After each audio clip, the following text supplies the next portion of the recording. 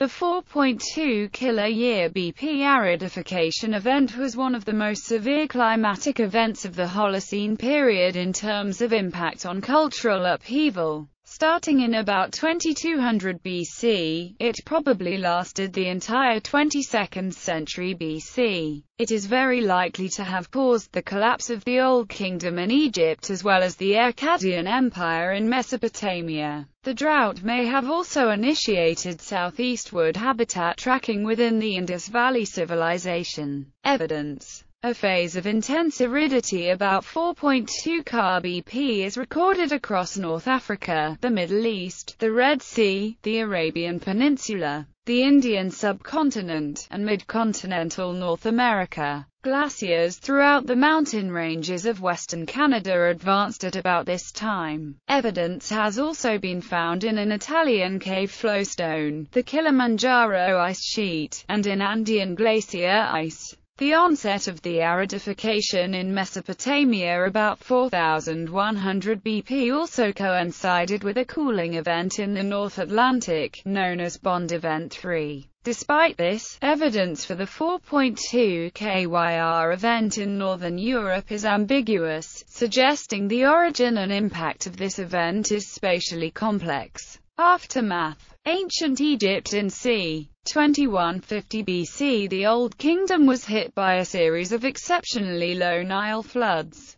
which was instrumental in the sudden collapse of centralized government in ancient Egypt. Famines, social disorder, and fragmentation during a period of approximately 40 years were followed by a phase of rehabilitation and restoration of order in various provinces. Egypt was eventually reunified within a new paradigm of kingship. The process of recovery depended on capable provincial administrators, the deployment of the idea of justice, irrigation projects, and an administrative reform. Mesopotamia The aridification of Mesopotamia may have been related to the onset of cooler sea surface temperatures in the North Atlantic. As analysis of the modern instrumental record shows that large interannual reductions in Mesopotamian water supply result when subpolar northwest Atlantic sea surface temperatures are anomalously cool. The headwaters of the Tigris and Euphrates rivers are fed by elevation-induced capture of winter Mediterranean rainfall. The Akkadian Empire, which in 2300 BC was the second civilization to subsume independent societies into a single state, was brought low by a wide-ranging, centuries-long drought.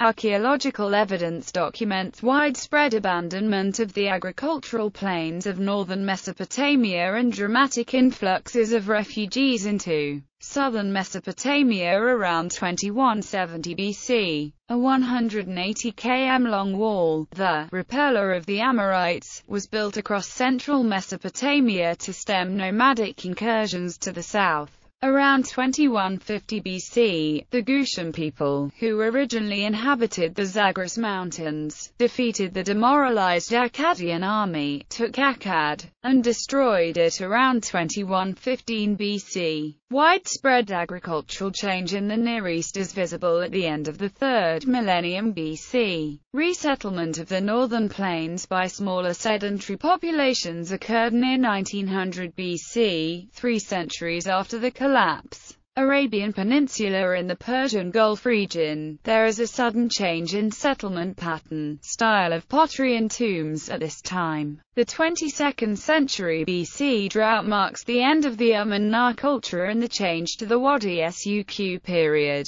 China The drought may have caused the collapse of Neolithic cultures around central China during the late 3rd millennium BC. At the same time, the middle reaches of the Yellow River saw a series of extraordinary floods. In the Yishu River Basin, the flourishing Longshan culture was hit by a cooling that made the paddy's shortfall in output or even no seeds were gathered. The scarcity in natural resource led to substantial decrease in population and subsequent drop in archaeological sites. About 4,000 years BP Longshan was displaced by the Yueshi culture which was relatively underdeveloped.